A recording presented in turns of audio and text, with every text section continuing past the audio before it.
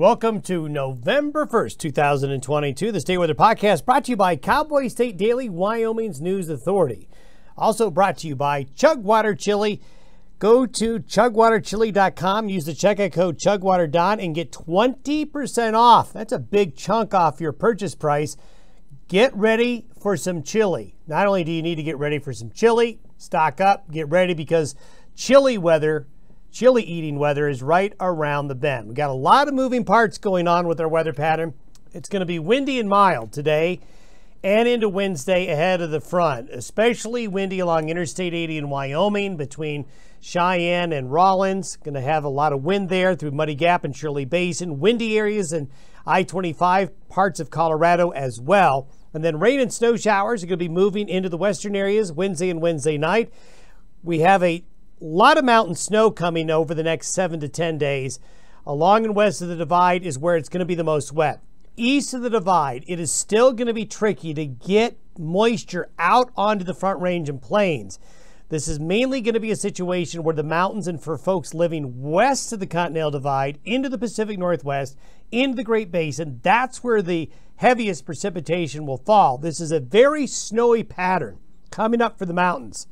The mountains this week with this first front and then a secondary front moving in later in the weekend are going to do very well to pick up more significant mountain snows.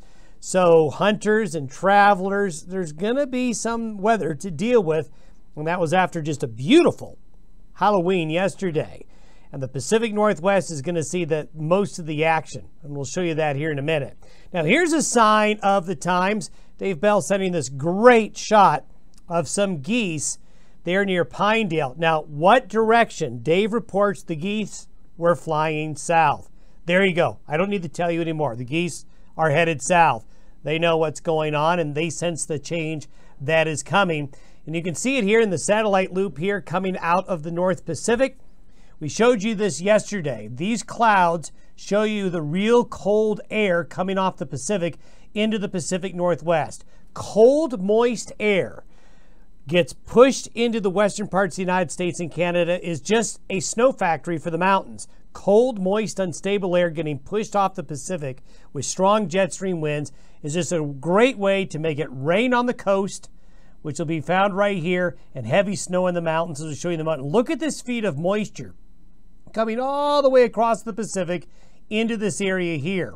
So this is a real moist connection all across the Pacific with this weather system. So there's a lot going on here, and it's going to really impact especially the northwest United States, western Canada here in the coming days. As the system crashes the coast, it comes on in, but strong southwest winds ahead of it mean mild air and windy conditions along and east of the Continental Divide for today and tomorrow. This is the precipitation forecast through tomorrow morning. So you can see where the heavier moisture is going to be. It's going to be in Oregon, Northern California there, parts of eastern Washington, the panhandle of Idaho, the mountains north and east of Boise getting into the action as well. While out here, the wind warmy, windy warm pattern keeps things dry through tomorrow. But by Thursday, 6 p.m., the low is swinging down through Arizona. We talked about it splitting. It still is, with a piece going up here, another piece that's going to swing east like this. Look at all of this blue up here. This is a tremendous amount of cold air. In fact, this morning, it was five degrees in Fairbanks with snow. So the cold is there, it's up there. Then we have a secondary wave of moisture that'll be coming in. We'll show you here in a minute. But this is the precipitation forecast through 6 p.m. Friday. So you can see it gets extended out into Wyoming, Utah, Colorado, Arizona, Northwest New Mexico here. So the high country, the mountain passes, all through this area will see significant snow, wind, and falling temperatures. Look at that snow there in the Sierras. Even parts of central California going to get some rain. Look at the panhandle of Idaho, northwest Montana. Then look at this swath there out of Alberta into Saskatchewan. That's going to be heavy snow up there. And look at all the red and orange here. Now, this is something that did not happen a year ago. Last fall, it was not snowy very much in that part of the world, and that led to some problems with the, the drought conditions as we headed into spring and summer of last year. And we'll tell you why it's a different situation this year. So you can see the snow that's going to be spreading into the area. Notice there's just not a lot along and east of I 25. And that is the pattern that we're going to have. Just along and east of I 25, there's not going to be much. But west of the I 25 corridor, you can see where the action really, really gets going with the snowfall. Now, this is the first system. This is through Friday evening. A secondary system with that blue arrow showing moist cold air just getting driven into the Cascades, into Portland, into Seattle, those areas down into areas, even San Francisco. This is just a, a rain and snow factory for the Pacific Northwest with that cold, moist air. And what happens is pieces of this storm get ejected across the Rockies. And what ends up happening, it's hard to see, it's really subtle. But I want you to look at this area right here. That's cold, moist air. This is Monday morning. By Monday night, that same area moves here into Montana, Wyoming, Utah, eastern Idaho, and into Colorado. It doesn't look like much on the map, but boy, this is a great way to make it snow in the mountains and more cold, moist air just, gets driven in to that area. So the end result, this is the second wave. This is basically from Saturday through Wednesday morning the next week. Another very impressive wet pattern here. And then while it's not as heavy, impressive moisture gets driven further east. And look at eastern Montana and North Dakota. That could be a snow event here early next week up there. We'll need to watch that. Notice Long and east of I-25 here, there's a dry slot. So this is a pattern that basically stays north of Interstate 70. And this is the second round of snow. Look at that there in the Sierras, the Pacific Northwest. Wow, that is really great news. But really all the Intermountain West, this is really good news. And that's where that potential winter storm could be developing early next week for parts of the northern plains and southern Canada. This is the 10-day snowfall total. Now, it's a model. It overdoes it. So don't take this verbatim. This is a guide, but this really shows you the potential for the high country to really get a lot of snow. And if we were to focus into the Pacific Northwest, this is for the next 10 days from today through next Thursday and Friday. Look at these snow totals in the mountains of Oregon, Washington State, down into the part of the northern Sierras as well. But all across the Intermountain West, this is great news for the snowpack and for skiers. And speaking of snowpack, you see all the dark blue?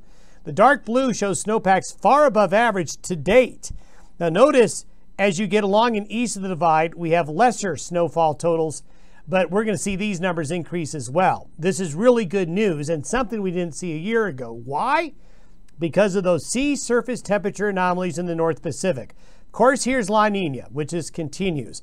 But these warm sea surface temperatures relative to average. Now, the water temperatures here are not warm, but they're just warmer than the 30 year average, which is enough to change things up with air pressure patterns, the moisture distribution. We did not have this a year ago. I want you to show you what it was like a year ago.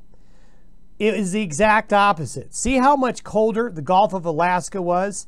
Now, it seems opposite world here. You would think a cold Gulf of Alaska would mean cold and snowy weather for Canada, Alaska, and the western United States. It actually doesn't, at least during this time of year. You want this to be more stormy, colder, and wet, and that's what we have. So it is looking like November and December of 2022 is going to have a different flavor to it to November and December of 2021. And here's another reason to think about this. We've been talking about the Eastern Pacific Oscillation, and when it goes negative, that's a cold signal, not only for the Western United States, but really most of the lower 48 states. We have this little dip coming, but boy, look what happens this weekend into early next week. The average of all the model runs on the European model strongly negative through November 16th. The Eastern Pacific Oscillation is strongly negative. If we to go out even further, we can see that the average basically keeps it in a negative phase. So there's lots of cold signals here. Here's the Arctic Oscillation. We'll talk about the Arctic Oscillation in a later podcast, but when the Arctic Oscillation goes into a negative phase, that also means cold air is coming high, out of the higher latitudes to the lower latitudes. So there are a lot of signals adding up to a much different scenario in the coming next two weeks compared to the very mild weather we've been enjoying. And here you can see it. This is out to November 16th.